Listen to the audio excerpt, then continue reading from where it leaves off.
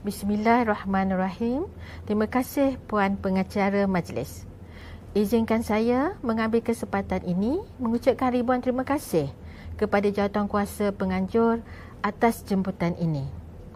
Yang berbahagia Datin Seri Hajah Nur Zamani binti Abdul Hamid, Ketua Pengarah Pendidikan Malaysia, Kementerian Pendidikan Malaysia, yang berusaha Dr. Ahmad Rafi bin Cik Kasim, Timbalan Ketua Pengarah Pendidikan Malaysia, Sektor Pembangunan Profesional Keguruan, Kementerian Pendidikan Malaysia, pembentang-pembentang selari seterusnya para hadirin sekalian. Assalamualaikum dan salam sejahtera. Bersempena dengan tema kolokium pendidikan tingkatan 6, peringkat kebangsaan kali kelima Kementerian Pendidikan Malaysia pada tahun ini dengan tajuk kreativiti dan inovasi melestarikan kecemerlangan pendidikan yang mana ia adalah amat bersesuaian dengan hasrat mentransformasikan pembelajaran tingkatan 6 sejajar dengan inisiatif Kementerian Pendidikan Malaysia dalam Pelan Pembangunan Pendidikan Malaysia PPPM 2013-2025. Oleh itu, saya akan berkongsi pandangan mengenai tajuk kreativiti dan inovasi melestarikan kecemerlangan pendidikan. Para guru sekalian, Kreativiti dan inovasi adalah dua perkara yang sangat diperlukan dalam semua bidang kehidupan manusia. Sama ada berkaitan dengan urusan kehidupan biasa atau dalam bidang kerjaya. Kedua-dua elemen ini memberikan impak yang besar kepada kemajuan seseorang individu dan organisasi. Apatah lagi dalam usaha mentransformasikan pengajaran dan pembelajaran tingkatan enam. Oleh itu, saya percaya kedua-dua elemen ini menjadi agenda yang besar dan sangat diambil berat oleh Kementerian Pendidikan Malaysia, khususnya bahagian pengurusan sekolah harian. Dan saya percaya juga telah banyak usaha yang dilakukan oleh Kementerian Pendidikan Malaysia untuk meningkatkan kreativiti dan daya inovasi para guru juga para pelajar dalam aspek pengajaran dan pembelajaran.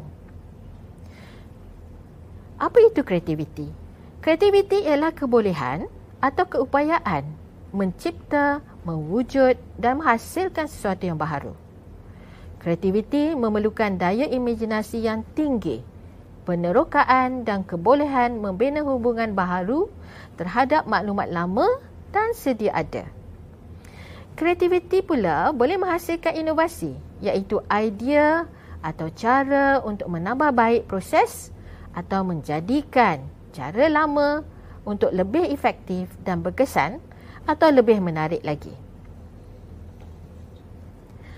Melalui inovasi, kita perlu menggunakan minda kreatif dan daya imajinasi yang tinggi Kedua-dua elemen ini sangat diperlukan untuk membawa negara ke arah kemajuan dan berdaya saing. Kedua-dua elemen ini juga sangat diperlukan untuk mentransformasikan pengajaran dan pembelajaran tingkatan enam. Seperti mana yang kita tahu, cara pengajaran dan pembelajaran di tingkatan enam tidak seharusnya sama seperti tingkatan lima dan sebagainya. Proses pengajaran dan pembelajaran perlu ke arah model pra-university di mana guru-guru tingkatan 6 perlu menyediakan pelajar untuk lebih bersedia melanjutkan pelajaran di universiti. Kaedah pengajaran dan pembelajaran di universiti jauh berbeza dengan di sekolah. Kementerian Pendidikan melalui semua jabatan sentiasa mengadakan khusus dan bengkel untuk menerapkan elemen kreatif dan inovatif dalam bidang pendidikan seperti mana termaktub dalam Pelan Induk Pembangunan Pendidikan 2006-2010 dan juga Pelan Pembangunan Pendidikan Malaysia 2013-2025 yang sangat menekankan pembangunan modal insan yang kreatif dan inovatif serta berkemahiran berfikir. Ketika pandemik COVID-19 melanda, kita menyaksikan banyak kreativiti dan inovasi yang berlaku. Bermula dengan bidang pendidikan, perniagaan, perkhidmatan sehinggalah kepada bidang kehidupan biasa. Kaedah bekerja dari rumah, BDR, pengajaran dan pembelajaran di rumah, PDPR, perniagaan dan talian dan sebagainya adalah antara aspek yang banyak elemen kreativiti serta inovasi. Bukan lagi seperti kebiasaan, tetapi sentuhan teknologi ICT dan digitalisasi digunakan secara optimum dan menyeluruh. Contoh paling dekat dengan kita, apabila berlakunya PDPR, guru dan murid beralih kepada teknologi digital guru pastinya memerah otak bagi menyampaikan pengajaran yang berkesan. Pelbagai kaedah pengajaran digunakan untuk menyampaikan ilmu dan pengetahuan. Kita tidak lagi bergantung hanya kepada papan tulis dan buku teks fizikal. Malah, kita terpaksa mereka cipta alat dan media bantu mengajar secara kreatif untuk menjamin proses PDPR menjadi lancar dan berjaya. Jika tidak berlaku inovasi dalam pendidikan seperti ini, pasti ramai pelajar akan terkesan dengan situasi sekarang. Inovasi dalam penghasilan media bantu pengajaran juga berlaku dengan baik. Semuanya berlaku dengan daya kreatif dan inovasi guru-guru sekalian. Masyarakat kita perlu bergerak maju ke arah dunia yang lebih mencabar. Sepatutnya, pengajaran yang didapati daripada situasi pandemik yang dihadapi oleh semua peringkat masyarakat daripada kanak-kanak di sekolah rendah hinggalah ke peringkat pengajian tinggi daripada orang perseorangan sehinggalah kepada syarikat dan jabatan kerajaan mengubah paradigma masyarakat kita. Kita perlu melangkah ke dunia moden yang serba canggih dengan teknologi terkini dalam semua bidang kehidupan dengan yakin setelah kita menjalani kehidupan secara normal baru ini. Apabila kita mencipta sesuatu inovasi dalam pendidikan, kita perlu juga memastikan bahawa setiap inovasi yang dicipta menjurus kepada kualiti pendidikan yang tinggi seperti yang telah disebut dalam Sustainable Development Goals atau SDG iaitu pendidikan berkualiti. Bidang pendidikan terlibat dalam target yang keempat iaitu quality education atau pendidikan yang berkualiti. Untuk memastikan bahawa kita mencipta satu inovasi yang berguna dan bermanfaat, kita boleh mengikut target pendidikan kualiti tersebut sebagai panduan. Jika kita lihat dari konteks Malaysia, pendidikan berkualiti atau quality education juga disebut dalam Pelan Pembangunan Pendidikan Malaysia 2013-2025 atau PPPM yang melibatkan lima aspirasi pendidikan. Aras aspirasi pendidikan yang tertera di dalam PPPM adalah access, quality, equity, perpaduan dan kecekapan. Jika dilihat pada slide, aspirasi yang kedua merupakan quality kualiti adalah sangat penting dalam pendidikan.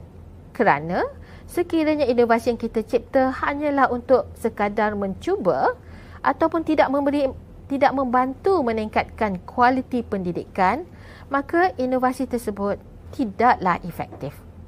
Maka kita perlu membuat penambahbaikan atau berfikiran kreatif terhadap inovasi tersebut.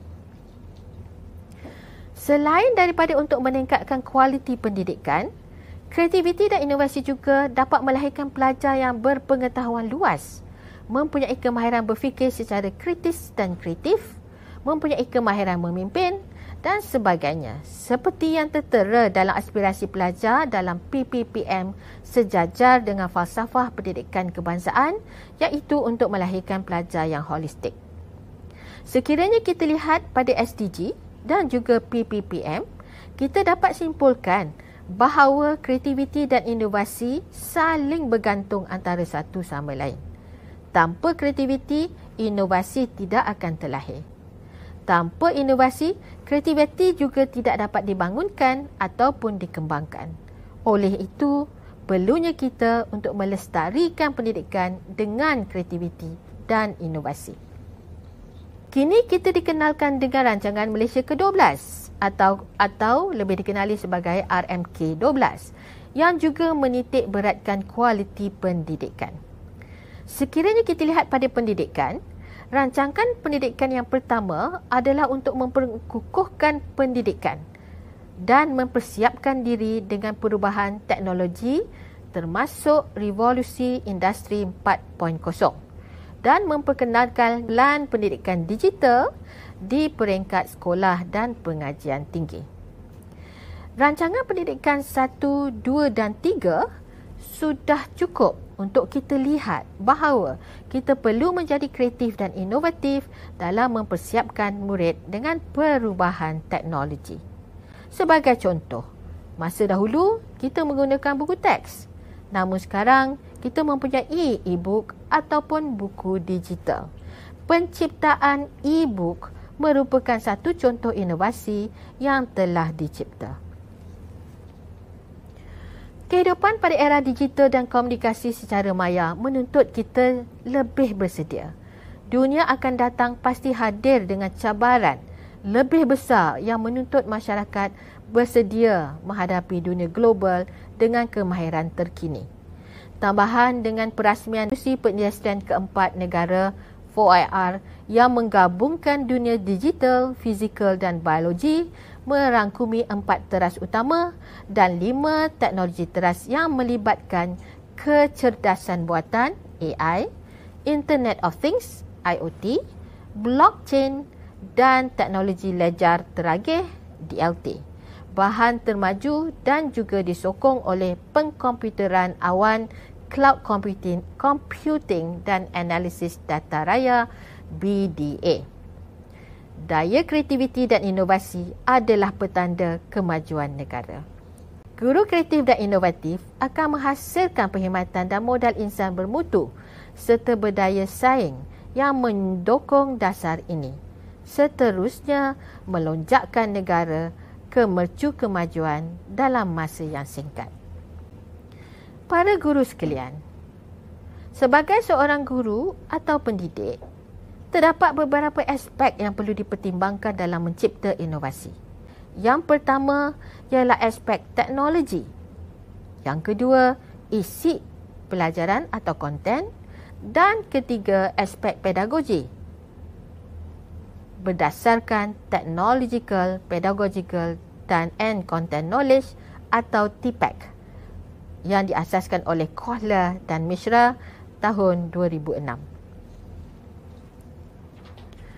Konstruk dalam TPEC ini membantu para guru untuk mengintegrasikan pengajaran dan pembelajaran mereka bersama teknologi kerana sekarang kita menuju ke arah digital seperti yang tertera di rancangan Malaysia ke-12. Jadi, aspek teknologi adalah penting sekiranya kita ingin menginovasikan sesuatu bahan atau ciptaan contohnya bahan bantu mengajar. Aspek teknologi penting namun kita perlu ingat bahawa kita bukan sahaja mahu menginovasikan teknologi sahaja.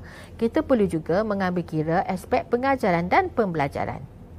Apakah isi pengajaran yang perlu dimasukkan atau diintegrasi dalam teknologi? Teknologi hanya sebagai satu medium atau peranti bagi pelajar untuk mengakses pendidikan.